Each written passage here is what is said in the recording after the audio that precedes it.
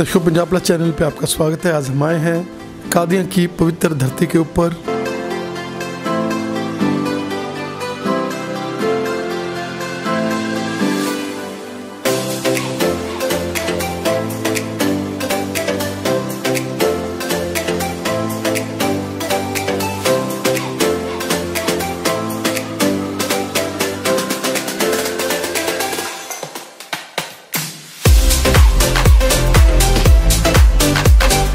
दर्शकों Punjab plus channel पे आपका स्वागत है। आज हम आए हैं कादियाँ की पवित्र धरती के ऊपर, जो कि सदियों से मशहूर है और जिसमें हम देख सकते कि अमन भाईचारे का संदेश लिए जमाते अहमदिया, जिन्होंने सारी ज़िंदगी लोगों को एक नई ज़िंदगी दी है और यहाँ यहाँ ये फूल खिला है। वहाँ वहाँ लोगों के मन में प्यार, सद्भावना, एक नई जो है, एक आपसी भाईचारे की जो है भावना पैदा होती है अभी हम तनवीर खादम जी के साथ हैं जो प्रवक्ता हैं सर स्वागत है आपका हमारे स्पेशल शो में ਬਹੁਤ ਬਹੁਤ ਧੰਨਵਾਦ ਤੁਹਾਡਾ ਤੁਸੀਂ ਮੌਕਾ ਦਿੱਤਾ ਹੈ ਗੱਲ ਕਰਨ ਦਾ ਔਰ ਜਿਸ ਤਰ੍ਹਾਂ ਕਿ ਤੁਸੀਂ ਸੁਣ ਚੁੱਕੇ ਹੋ ਅਹਿਮਦੀਆ ਮੁਸਲਿਮ ਜਮਾਤ ਨਾਲ ਸਾਡਾ ਸੰਬੰਧ ਹੈ ਜਿਹਦਾ ਸੈਂਟਰ ਜਿਹੜਾ ਹੈ ਕਾਦੀਆਂ ਹੈ ਨੈਸ਼ਨਲ ਸੈਂਟਰ ਇੰਟਰਨੈਸ਼ਨਲ ਜਿਹੜਾ ਇਸ ਟਾਈਮ ਜਿਹੜਾ ਉਹ ਲੰਡਨ ਦੇ ਵਿੱਚ ਹੈ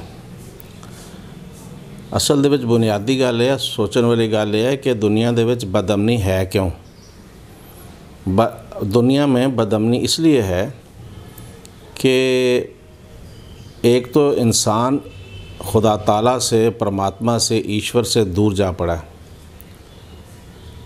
ईश्वर का डर इंसान के दिल में नहीं रहा मानव के दिल में नहीं रहा इसलिए वो बग़ैर खौफ व खौफ के हर ऐसा गलत काम करता है जिससे दुनिया में बदमनी पैदा होती है। लोगों के हक, हकूक़ जो हैं, वो छिन जाते हैं। और दूसरी बात यह है कि इसी वजह से इंसान जो है, फिर इंसान से दूर हो गया आपसी नफ़रतें पैदा हो गई हैं। कहीं मज़हब के झगड़े हैं, कहीं ज़ात पात के झगड़े हैं, कहीं जो है, ज़बानों के झगड़े हैं, कहीं रंग नस्ल के झगड़े हैं।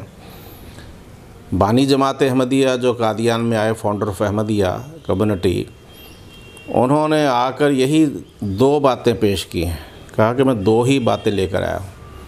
एक बात तो ये है कि मैं लोगों का ताल्लुक़, संबंध स्थापित करवा दूँ उस परमात्मा से, ईश्वर से, अल्लाह से गॉड से, जिससे उसका संबंध टूट चुका है। दोबारा संबंध स्थापित करवा दूँ और दूसरी ये है कि इंसान इंसान का जो दुश्मन हो रहा है खून का प्यासा हो रहा है। एक इंसान को दूसरे इंसान का भाई बना दूँ, ऐसा भाई जैसे एक पेट से दो भाई होते हैं। तो ये मकसद है जमात का और यही जमात अहमदिया के बानी ने अपने आने का मकसद बताया है। और इसी को लेकर जमात अहमदिया सारी दुनिया में प्रचार प्रसार कर रही है, कोशिश कर रही है। और हमारी ये इच्छा है, ख्वाहिश है और हमारे मिशन है कि काश दुनिया में अमन, सलामती और शांति भाईचारा पैदा हो जाए। और हमारा मानना यह है कि दुनिया में भाईचारा तभी पैदा हो सकता है जब दुनिया पर परमात्मा के करीब हो, खुदा के करीब हो, खुदा की मोहब्बत उसके दिल में पैदा हो जाए, खुदा का खौफ उसके दिल में पैदा हो जाए। इसके लिए जमात अहमदिया आजकल ज़्यादातर झगड़े जो हैं, वो धर्मों की वजह से हैं। तो जमात अहमदिया आज से नहीं, करीबन पौनी सदी हो गई, पचहत्तर साल से, बल्कि इससे भी ज़्यादा समय हो गया है। दुनिया भर में सर्वधर्म सम्मेलन आयोजित करती है, कि सब एक स्टेज जाकर हम तमाम धर्मों के जो बड़े बड़े लीडर हैं, उनको बुलाते हैं और उनको कहते हैं कि आइए और यहाँ बताइए कि आपके धर्म के जो ऋषि, मुनि, गुरु, अवतार हैं, उन्होंने क्या संदेश दिया है, क्या अच्छी शिक्षा दी है, ताकि लोगों को पता लगे कि सब पाक हैं पैम्बर एक दूसरे से बेहतर कि सभी पवित्र हैं, ये अवतार सभी पवित्र हैं। ये बानी जो ये हम, हमारा ये मानना है कि परमात्मा के जितने भी अवतार हैं, वो पवित्र हैं सभी और एक से बढ़कर एक है। इसलिए जमात अहमदिया एक तो सर्वधर्म सम्मेलन सारी दुनिया में आयोजन करती है। हिंदुस्तान में भी हर ये सिर्फ़ यहाँ पर नहीं, आपने देखा होगा कि अब कादियान के जलसा सालाना में आए होंगे। जो इंटरनेशनल लेवल का जलसा होता है, कई मुल्कों के लोग यहाँ शामिल होते हैं। यहाँ भी एक दिन हम जल सर्वधर्म सम्मेलन का आयोजन करते हैं। और उसके बाद फिर हर शहर में, हर हर बड़े शहर में, हर सूबे में सर्वधर्म सम्मेलन के, सम्मेलनों का आयोजन किया जाता है। और पीस के सिलसिले में कॉन्फ्रेंसें होती हैं।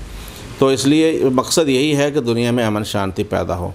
और हमारा मानना ये है हम के, कि हम, जब दुनिया में लोग एक दूसरे के धर्मों का जो समझेंगे तो उनका एहतराम भी करेंगे, उनके करीब होंगे, आपसी मोहब्बत और प्यार पैदा होगी। सिर्फ़ जमात नहीं, बल्कि जमात अहमदिया एक हेड हेड हैं। हमारे खलीफा, हज़रत मिर्ज़ा मसरूर अहमद साहब, वो तो बड़ी कोशिशें कर रहे हैं, सारी दुनिया के बड़े बड़े प्लेटफार्मों में जाके बड़े बड़े ऐवानों में जाके और जो असम्बली हाल उनमें जाके दुनिया को बता रहे हैं कि देखो, दुनिया जो है परमात्मा से, ईश्वर से दूर हो गई है। अगर तुम परमात्मा के साथ जुड़ोगे तो दुनिया में अमन होगा।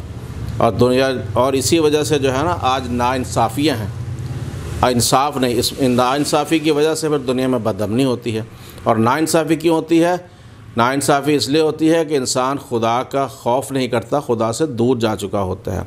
तो हज़रत मिर्ज़ा मसरूर अहमद साहब, जो हमारे रूहानी इमाम हैं, वो सारी दुनिया में जो है घूम घूम कर ये संदेश दे रहे हैं कि देखो, परमात्मा के साथ जुड़ो, खुदा के साथ जुड़ो, और खुदा के साथ जुड़ोगे तो तो तुम तुम जो है, तुम्हें शांति जो है अमन में आ जाओगे, शांति तुम्हें मिलेगी।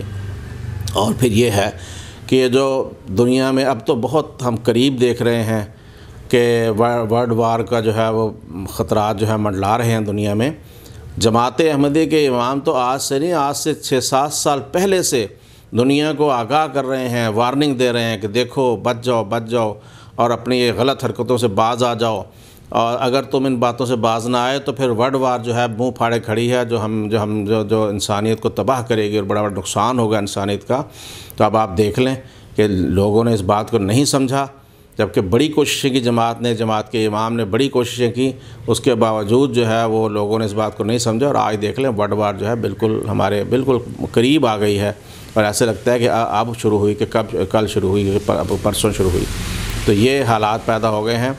इसलिए जमात तो ये विश्वास रखती है कि दुनिया में मज़ाहब के अंदर जो है अमन पैदा किया जाए, आपसी भाईचारा पैदा किया जाए और हमारा ये विश्वास है कि श्री कृष्ण साडा है तो राम मुस्लिम असीहा तो मुहम्मद मुस्तफ़ा साडा, ईसा तो सदके तो नानक तो वारी यह अहमदी का पैगाम साडा कि हम अगर सारी दुनिया के, सारे दुनिया के जो पेशवा हैं, जो रिफॉर्मर हैं, जो गुरु हैं, वो सब हमारे हैं। और हर इंसान अगर ये समझ ले कि सभी दुनिया में आने वाले हमारे हैं, जो दुनिया में आपसी भाईचारा पैदा हो जाए तो मोहब्बत और प्यार पैदा हो, यही एक तरीका है। और इसीलिए जमात अहमदिया कोशिश कर रही है, और यही जमात का स्लोगन है कि love for all hated for none. मोहब्बत सब के लिए, नफ़रत किसी से नहीं। समदिया आपका धन्यवाद। आप एक इंस्टीट्यूशन है। क्या कहना चाहेंगे कि जमात अहमदिया, इसके साथ साथ लोगों को सेहत सहूलतें, जो कि कादिया में हमने देखा कि नूर हॉस्पिटल के रूप में एक बहुत बड़ा हॉस्पिटल चल रहा है, जिसमें लोगों को सेहत दी जा रही है। और उन लोगों को जो पैसा ज़्यादा नहीं खर्च कर सकते, उनके लिए ये हॉस्पिटल वरदान बना हुआ है। इसके साथ साथ विद्या के दान के केंद्र और इसके साथ साथ हमेशा जमात अहमदिया एक ऐसी क्लास है जो ऑलराउंडर है, जिसने हर फ़ील्ड में, चाहे वो खेलों का फ़ील्ड है, चाहे वो स्टडी का फ़ील्ड है, चाहे वो हेल्थ सेवाओं का फ़ील्ड है, हर फ़ील्ड में ये जो है सेवाएँ अपनी निभा रही है। बिल्कुल, इसमें शक नहीं, आपने ठीक कहा, जमात जो है, वो सेवा कर रही है और सारी दुनिया के अंदर कर रही है, सिर्फ़ कादिया में नहीं। आपने तो नूर अस्पताल का ज़िक्र किया है।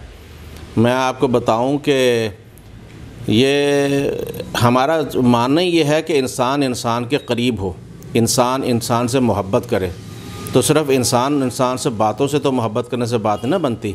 लोगों की सेवा भी करनी चाहिए, लोगों की खिदमत करनी चाहिए।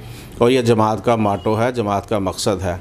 और इसीलिए जमात अहमदिया ने आप नूर अस्पताल में तो उसके अलावा एक फ्री होम्योपैथिक डिस्पेंसरी चल रही है, जिससे लाखों लोग हर साल फ़ायदा उठाते हैं। और ये मैं आपको बताऊँ, ऋषि जी, कि बात यह है कि सिर्फ़ हिंदुस्तान इस कादियान में नहीं, बल्कि हिंदुस्तान भर में फ्री होम्योपैथी डिस्पेंसरियाँ चल रही हैं। जो सेवा कर रही हैं और भी दुनिया भर में अस्पताल हैं, स्कूल हैं, कॉलेज हैं, जिनके ज़रिए से जमात अहमदिया सेवा के काम कर रही है। और मकसद यही है ताकि इंसानियत की खिदमत हो और इंसान इंसान के करीब हो और इंसानियत की खे सेवा हासिल, सेवा करके फिर हमें खुदा ताला की मोहब्बत हासिल हो। तो जमात अहमदिया जिस तरह भी कोशिश कर हो सकती है, जितना उसके अंदर जिस, जितनी उसकी समर्था है, उसके मुताबिक कोशिश करती है। गरीब बच्चों को जो है तालीमी वजीफ़े वगैरह दिए जाते हैं और गरीबों को जो है मदद इमदाद होती है। तो ये जमात, छोटी जमात है, लेकिन फिर भी सेहत के अंदर हो या विद्या का वो हो, लाइन हो, उसमें जमात अहमदिया जहाँ तक मुमकिन है, कोशिश करती है और मकसद यही है कि मानवता की सेवा हो और परमात्मा और खुदा हमसे राज़ी हो जाए। यही जमात अहमदिया का मकसद है। आपका, आपने हमें समझ दिया। और हम चाहेंगे कि इस चैनल के माध्यम से आप जैसे शांति का पैगाम सारे वर्ल्ड में फैला रहे हैं और जमात अहमदिया के माध्यम से जो भी दर्शक इससे जुड़े उनके ज़िंदगी में भी वही खुशियाँ हों और उनके मन में भी अल्लाह ताला से प्यार करने की भावना और आपसी भाईचारा और अपने मन में बिल्कुल वैर विरोध को ख़त्म करके एक पॉजिटिविटी जो है उनमें भी आए। आपका बहुत बहुत धन्यवाद, सर। धन्यवाद धन्यवाद बहुत बहुत धन्यवाद।